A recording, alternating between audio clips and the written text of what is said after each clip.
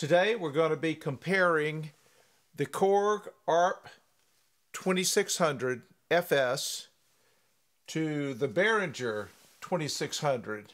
Although they're very, very similar in features, there are some interesting differences, and that's what we're going to be covering in this video.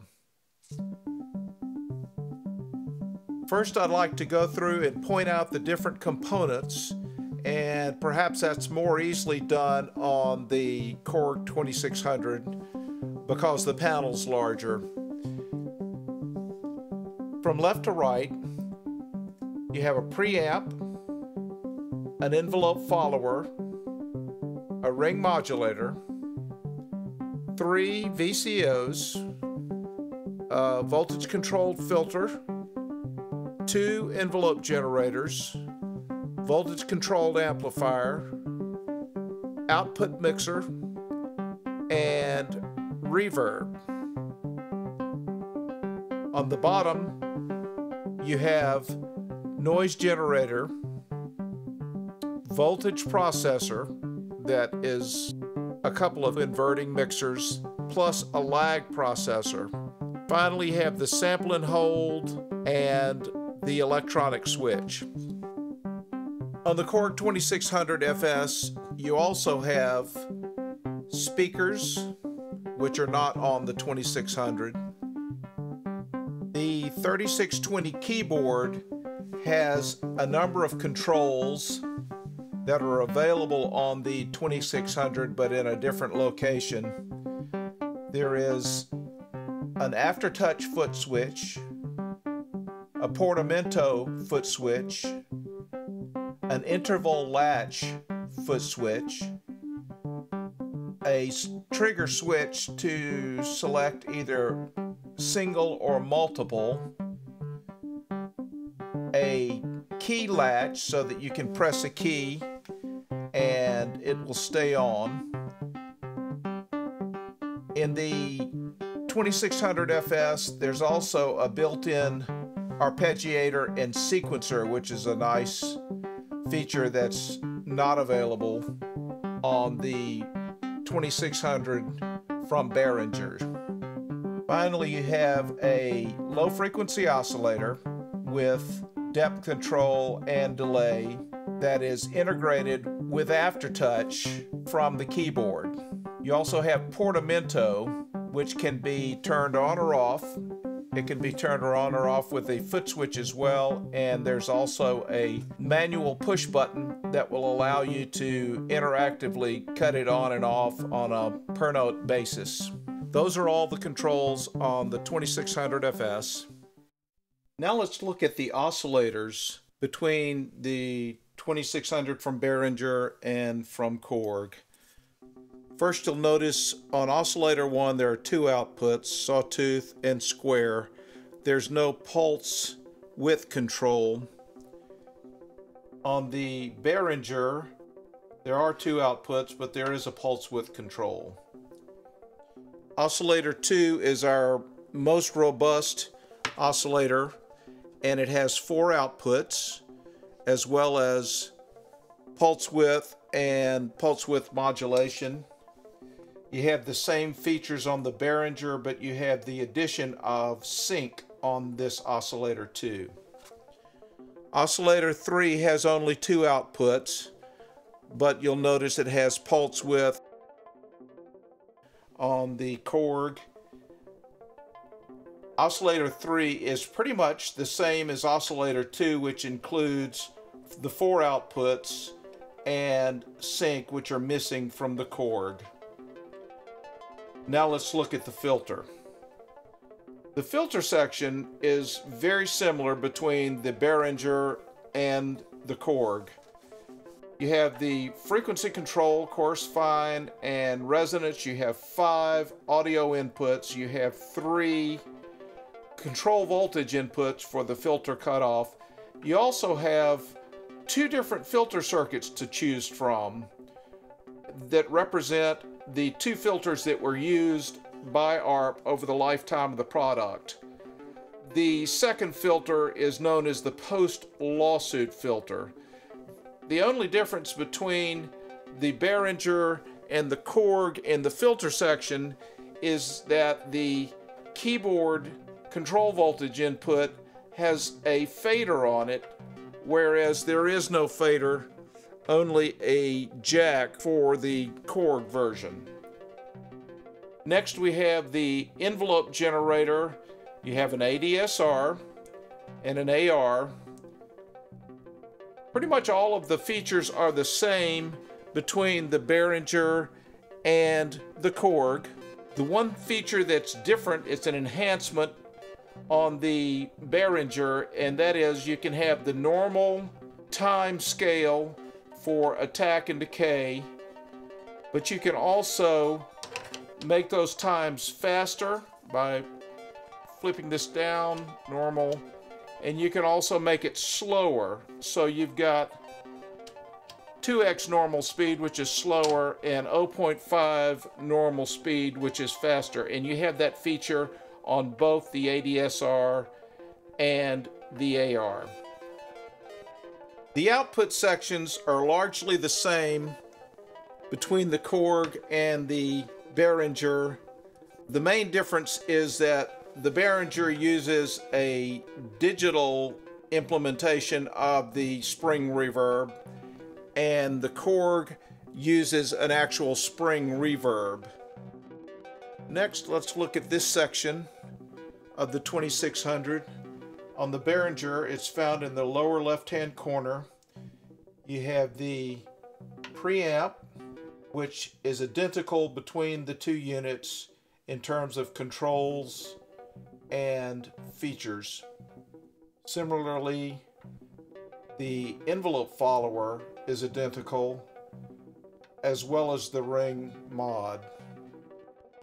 Next, let's look at the noise generator and the voltage processor. And in short, these two are identical in function and controls on both the Korg and the Behringer. Now let's look at the sample and hold. Here's the sample and hold. The controls and features are the same as they are on the Korg, except that you've got these blinky lights. And one of the things I want to point out is the external clock into the sample and hold does not control the electronic switch. The electronic switch is always under the control of this LFO that's normally the clock for the sample and hold. The only other thing I want to point out is that there's an extra feature in that there's a volume control on the headphones for the headphone out. The final controls we need to cover in the Behringer 2600 are in the lower left-hand corner. These controls correspond to what you would see on the Korg 2600 on the 3620 keyboard you have your portamento controls, uh, portamento time, on off, momentary, and there's also a jack on the back of the 2600 for a foot switch for this portamento control. There's also a jack back there for the interval latch. Also, you'll find the MIDI inputs and outputs, uh, both DIN configuration and USB on the back panel. Also, the dimmer for these lights is back there so you could have them all the way off if you wanted that. We also have the LFO controls, LFO speed, vibrato delay, vibrato depth. You have the outputs from the LFO, you also have the gate and trigger outputs. In this case, they're from the MIDI out, not from the keyboard because there is no keyboard. You have keyboard CV and upper voice for the duophonic operation. In fact, you can switch between monophonic and duophonic with this switch. The trigger mode, either single or multiple, is also here. And we've got an extra control for repeat. You can have it repeat when you press the key, or you can have it constantly repeat and self-triggering. One thing I wanted to include was a visual of the waveforms from VCO2 on the oscilloscope. We have the Behringer sine wave output, Korg sine wave output. Ignore the fact that this was shifting. And let's listen to first the Behringer, then the Korg.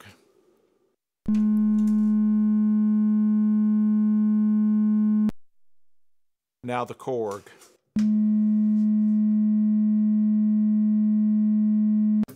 The Behringer.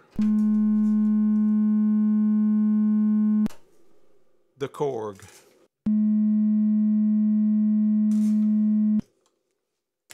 Now let's shift waveforms and listen to this triangle from the Behringer and the Korg.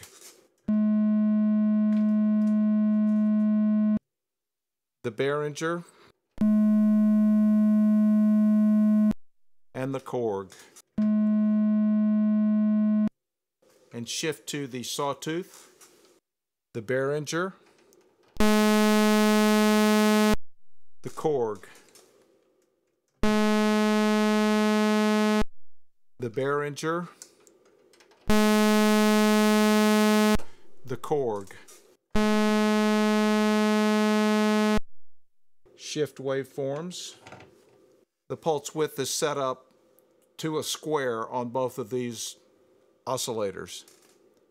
And let's listen to the Behringer. And the Korg.